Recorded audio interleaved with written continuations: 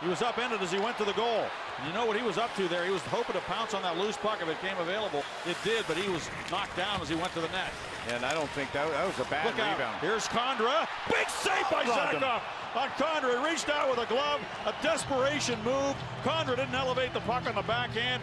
And Zatkoff just made a spectacular save to keep it at 4-3.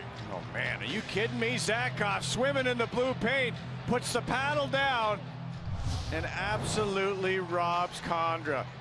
Kevin Porter's in the corner. He tried to make a little pass to Dumoulin. It didn't connect. There's the paddle down. And I don't know if it hit the back of his blocker hand or it hit that paddle that was down across the goal line. Spectacular work.